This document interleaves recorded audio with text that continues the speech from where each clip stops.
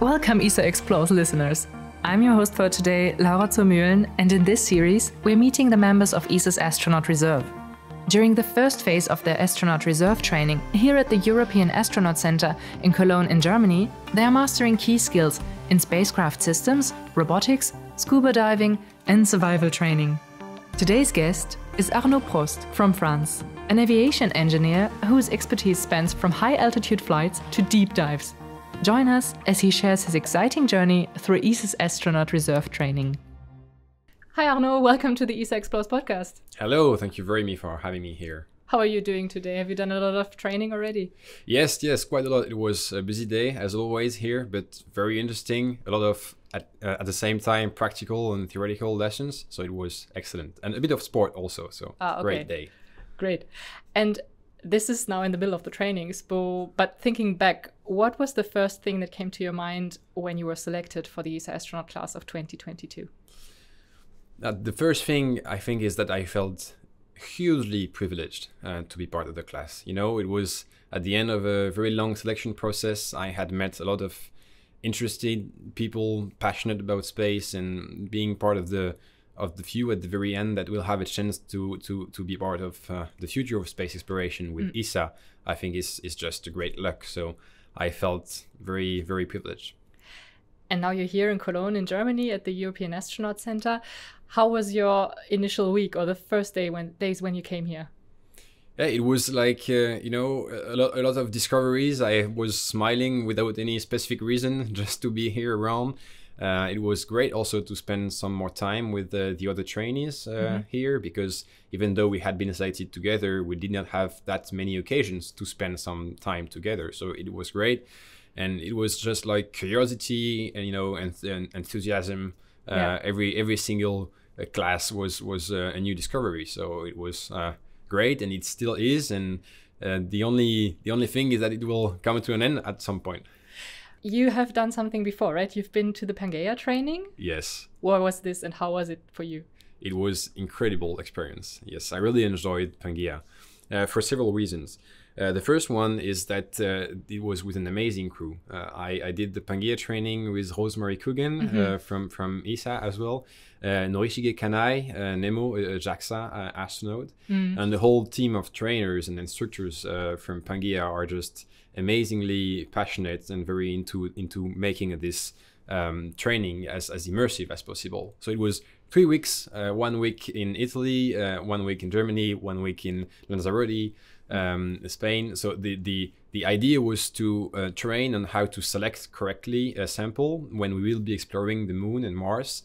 So it was both extremely interesting from a scientific point of view, uh, how to you know be able to pick up the right rock sample, but also from an operational point of view because we were using some um, tools to analyze the sample. We were using communications with a, control room. We had this interface with the scientists. So it hmm. was at the same time extremely interesting from a science and operational point of view. Yeah. So you did some practical training before even starting the, the, yes. The yeah, I was lucky enough to to to to be part of this Pangaea training. Yeah. And and one take home message that I really liked is that you know in a team uh, that is exploring, you need to have the right balance between some people who are more operational, like they want to advance as, as fast as possible to, mm. to be at the end of the traverse on time, etc. And you have some people more inclined to science, you know, they, they see an in- interesting rock and yeah. so they want to spend hours uh, around this rock looking looking at it. And you have to find a right balance within yourself and within the team in order to be the most performant possible. And I found this extremely interesting mm. and, and very well um, adequate train on this uh, at Pangaea. Yeah. And now here at EAC, what is the most interesting or exciting session or lesson for you right here? Mm-hmm. I have to say that since uh, I had the chance to work as a professional diver before, and I'm passionate about scuba diving. So the diving training here was really amazing for me. Mm. Uh, it was great, and to be in the pool for the first time, like it was really a dream within the dream for me to to dive in the uh, NBF tank of the European Astronaut Center. Mm. I had dreamt about this for, for quite some time, and to be in the end within the pool, looking at the mock-up around the pool. Because it's like it's a 10 meter deep pool that we have here, and they submerge modules of the space station, right? Exactly. So they they they submerge modules to train on how to move around the space stations. for this first training, we had our first certification uh, as, as a scuba guest diver.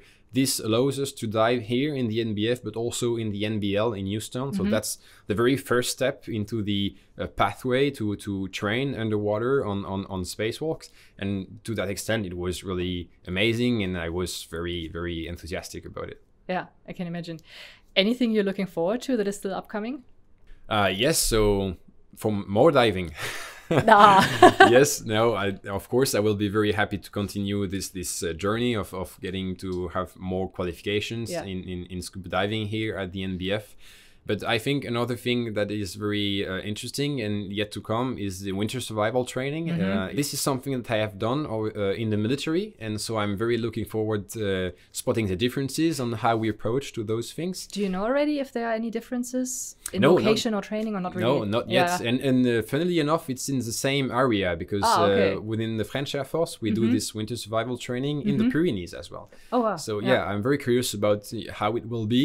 And what I'm sure about though is that it will be a unique way for us as a group of trainee, uh, uh, as a team, to to to make some great memories Yeah. and to bind bind a bit more. Yeah. And this is, I think, essential. And one of the reasons why I'm so happy to, to be part of this training as well, because it's a unique opportunity to have some quality time together and to Yeah. really be become a team. Yeah. So now I'm a bit curious because you already did it actually, or kind of a winter survival training. What was the yeah the, the best moment back then? Was it something related to team bonding as well? Uh, yes, yeah, I think that uh, in, with hindsight, it's really that mm, you know, even though it was really, really, really cold, and it Winter was survival. winter survival, Yeah. but it was long and the night was long and we were cold, so you have to dig a hole in the snow and you put yourself in that hole and then you cover yourself, you know, with the parachute only, Yeah. and you only have your flight suit, so it was like very, very cold. Yeah. And even this was this kind of uh, uncomfortable uh, situation, to say the least. Mm-hmm. Nobody complained Yeah. and uh, everybody was you know making the best effort to to be useful to the team and to find some solutions to cope with this uncomfortable so, uh, situation and i think that this this is uh, a very good uh, mindset and this what this is the reason why it's a good memory in the end Yeah. And then also your background as a pilot and everything that you've done before. Do you think you have skills from that time that helped you here already during the training? Um, yeah, I think so. I think so. But and that's one thing that is very interesting uh, in this training because the five of us uh, for this first group, we we come from different background, even Yeah. even though there are three pilots. but um, we we really noticed that all of us we bring different things uh, to to the team. And for example, so we had uh, uh, um, a lesson about uh, human performance and behavior. So a lot of uh, big focus on human factors Yeah. and you know accidents analysis. And this really is my job at the moment in my squadron. And all of us in aviation, we, we had already worked a lot on, on human factors. But we also had like a whole uh, less course on, on biology. And, and in this, uh, Sara and Emily, they are very skillful. Like they know uh, everything about, about this, this field. And during some of the practical uh, sessions, I had some advice from Sara and also Emily. She was adding some, some things to the lesson that were super interesting. Yeah. So it was great. It was just good uh, mixture and, and everybody pitching in, in in in the in the training somehow. Yeah. Would you say this was the most challenging part than the unknown stuff that you didn't learn yet or anything else? Yeah, ho- honestly, I did not uh, experience it as challenging because I'm very curious. Uh, Yeah. This this really. Um, you know, any question that is uh, yet with a question mark for me is an invitation to to to work and to understand. And uh, I had not uh, studied uh, biology for quite some time, so it was very interesting to to learn all the, these new stuff. Yeah. And I was really amazed by the pedagogical efforts uh, from the training team here because they had you know in the classroom at the same time some people with no experience at all in biology like like the three the three pilots and they had two very skillful people with a lot of background in this field as well but they managed to have the lesson made in a way that it was interesting for everybody so uh, great experience and even though it was not challenging it was extremely interesting and i really enjoyed that part as well And was there a moment that you think is the most fun of the training?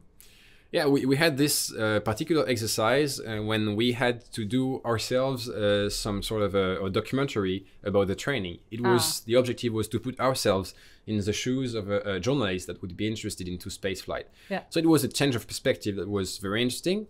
But uh, it was just very fun also to you know be uh, our own subject, and it was a, a good, I would say, uh, ground for some very nice jokes also about ourselves. And I think that's something important, and it's definitely the mindset of, of the group, this group of trainee, to be very serious in into what you're doing, but not taking yourself too, Too seriously. seriously. Yeah. Yeah, yeah, yeah. So obviously you have a very great passion for space and space flight. What is the most inspiring person or space discovery for you?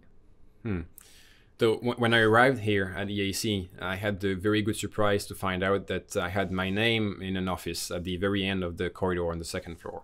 And then I walked all the way to, to, to my office, and on the sides of the wall there were some some you know um, mission patches uh, of the former astronauts. And you know I took the time to look at all of them, and it was amazing to to find some names that I had met before, and especially the one from the former French astronauts. And all of them, uh, they have inspired me quite a lot, uh, giving me some advice since I have been selected. And especially one of them, who is in the office right in front of mine at the very end of the corridor. His name is Thomas Pesquet, and he gave me uh, ex- extremely good advice so far. So I would like to thank him. So you met him before actually. Yes, uh, I, it's very funny because I met him once. Um, I, I landed in another city and I was at the airport going out, and then the customs they they arrested me asking some questions about my luggage, but then I could not really understand what they were saying. It was in a different language, and uh, one person just you know walking by noticed that a French young guy was in trouble because he couldn't understand what was happening, and so he stopped by and he made the translation and he helped me going through the customs basically and this one person was thomas pesquet No way. yes yes yes i have very very good memory of this even because you know even though he- he's um, someone who has flown to space twice who is uh, very famous in france uh, he he still took some of his time just to help one person ha- out that he didn't know so i really enjoyed that part and in you know in some way it inspired me and he told me that no matter how serious your missions are Yeah. you, you can still be uh, very helpful and you should be Yeah. helpful to other people you meet yeah, nice. That's actually also great advice for everyday life. yeah Cool. Um, to end on a lighter note, do you have any fun phrases or saying from another language? Because here at ESA we have people from so many different cultures and nationalities. Yeah. So I picked up uh, a German word. Ah, Are, are you ready? I'm ready. Genau. That's the one German word you need to survive over here. So I guess uh, Yeah. applied in the right context. Uh, that, that's the one I master the most. Yeah. do you know what it means and to use it in the right context? I, I would say it means okay, right? Like absolutely, it's a constant word, like Yeah. saying being being positive, being supportive uh, with someone else. Is is that right? Genau. Yeah. Amazing. well done. So, talking about fun stories, do you have another favorite space related joke or anecdote, maybe? Yes, I, I do have one anecdote that I really like. Um, so I am also, as as most of us, I would say, a fan of, of Neil Armstrong. So he, for Apollo 11, uh, they, they had a press conference, you know, before the mission, and then the journalists they were asking, so what will you bring into space, you know, to please your family and your friends? And you had Buzz Aldrin saying that he would carry some jewelry to his wife. And then journalists turned to, to Neil asking, so what would you carry to, to space? And he said, I would carry more fuel. Ah, And to go you know, further. to go a bit further away. Yeah. And you know, I, I, really like this this mindset. Uh, it was half a joke and half serious, Mm-hmm. I think, and I think it, it says a lot about the person. Yeah. And then for you, for the future, what would you wish for for yourself? So for myself, I am oh, I already have some very nice things uh, in the future because we will have two other sessions of uh, astronaut reserve training, and I am very much looking forward um, to it. And then I would say, uh, as most of us, uh, I hope that they will have the chance to get into space at some point, whether it is uh, during a short duration mission as a member of, of the reserve, or if I have the opportunity to join the Corps at some point. Um, but the most important things is to find some ways to contribute to, to space exploration. And training is a very good way in my opinion getting ready to, to, to be able to fly whenever the opportunity arises. But there are other ways and i'm very looking forward more possibilities to, to get involved into uh, the space exploration effort of the of the european space agency. Yeah. So I guess you're right here at the right moment in the right time. i hope so. Yes Great. Thank you so much for yeah joining us thank today. you thank you